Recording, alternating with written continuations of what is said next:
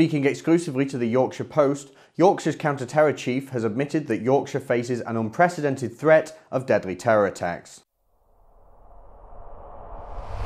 I love Yorkshire. I mean, I'm a Lancashire lad at heart, but you know, every time I crossed the border across the moors, I felt a connection. Yorkshire epitomises the north. It's got great food, traditional brick houses and cottages, beautiful countryside, friendly people, and cracking pubs, but now it's known for something else. You know, I remember reading about the town of Savile in Yorkshire. It hit headlines just a few years ago when census data was revealed showing that only 48 out of 4,033 people in the town were white British.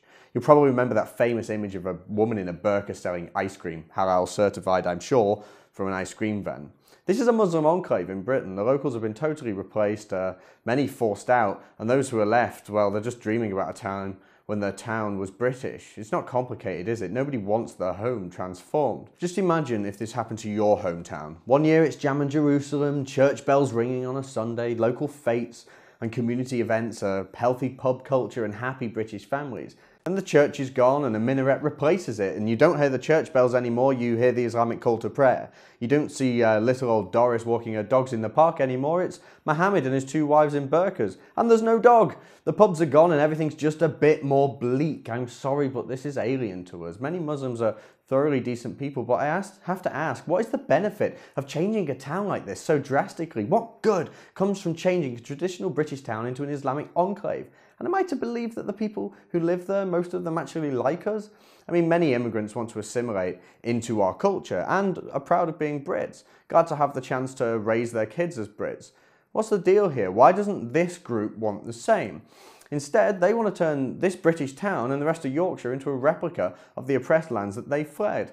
And the claims from Yorkshire's counter-terror chief suggest that these people don't really like us. In his interview with the Yorkshire Post, Detective Chief Superintendent Martin Snowden said that West Yorkshire Police had the resources to match the threat, unlike the Met Police, who have over 900 officers dedicated to watching hate speech online, but the threat is there and it's substantial. And it comes from lone wolves and Islamists who are using less sophisticated methods to attack people.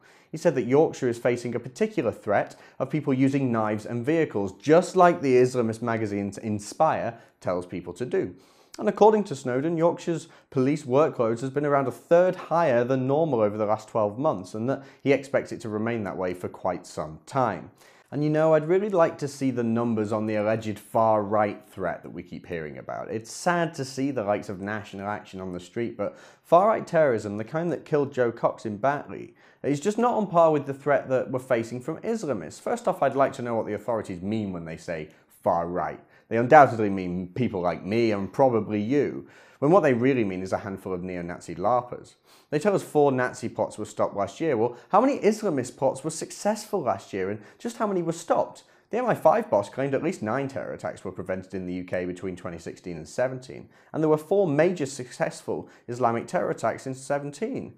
But if we're talking Allahu Akbar attacks, we need to look at more than just van and gun attacks. We need to go beyond the major attacks that shake the nation we need to talk about the regular knife attacks in London by allegedly crazy drug addicts who just so happen to be Muslim as well. And what about Islam-inspired acid attacks? What about the brutal rape of young non-Muslim girls? I call this terror too. We have at least 23,000 potential jihadis on the street, and while it's easy for northerners like me, who are lucky enough to grow up in a sane part of town, to assume that this all happens down south in places like Luton, we have to face up to the fact that huge parts of the north are being hurt by this poison too. Yorkshire's facing a real threat, unfortunately. It's being transformed, and we're being told to celebrate it. It's just like being burgled, and the burglar telling you to smile about it.